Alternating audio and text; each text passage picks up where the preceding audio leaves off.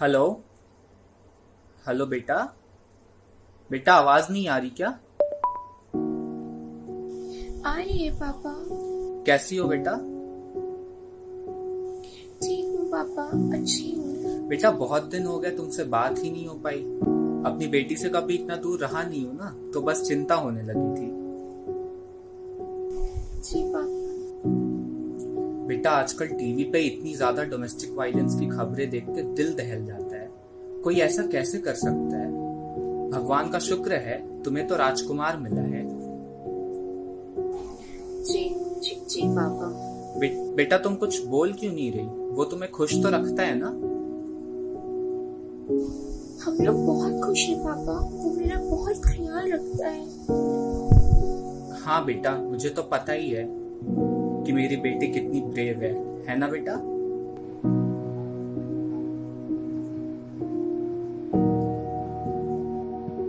बेटा तुझे कुछ हुआ है क्या?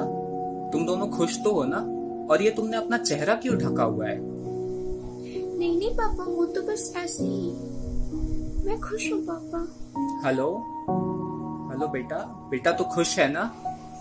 पापा पापा मैं बाद में बात करती हूँ। इसने तो काट दिया फ़ोन। ज़रूर कुछ हुआ है। क्या बताऊँ पापा आपको? वो आपकी तरह नहीं है पापा वो आपकी तरह नहीं है। मुझे मारता है पीटता है रुलाता है। क्या क्या नहीं करता पापा क्या क्या नहीं करता?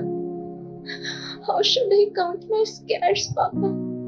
How to tell you? What I feel? When you pull my hairs, drag my body, how to showcase my body filled with red streaks of his anger, Papa. I screamed, I begged for mercy, but there was no escape. But there was no escape. His faint punches at that dark night made him strong.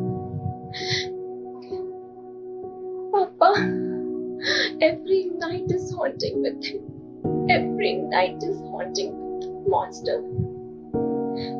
Where are you, Papa? Where are you?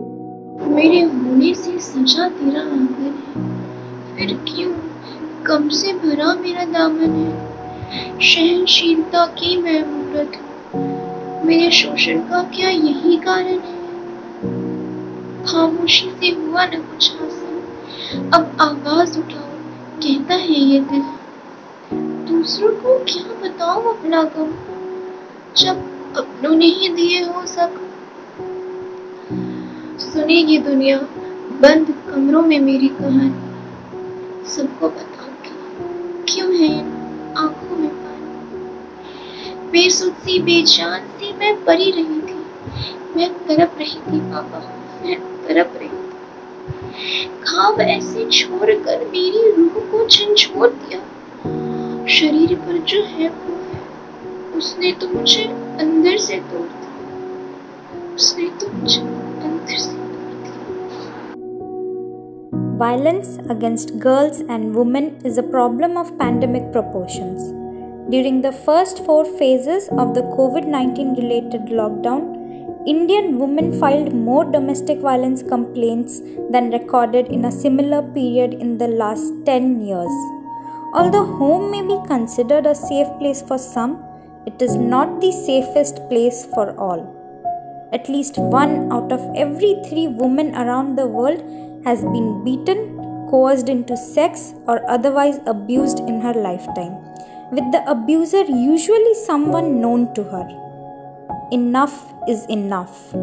The domestic part doesn't matter. Violence is violence. We need to stand for all those souls who suffer.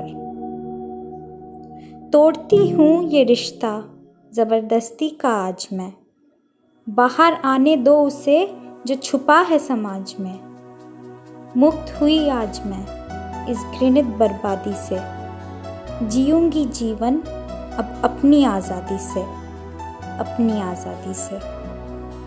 आँसू के संग ना बहूँगी सखी, अब ना मैं गुमसुम रहूँगी सखी। सहने से बेहतर कहूँ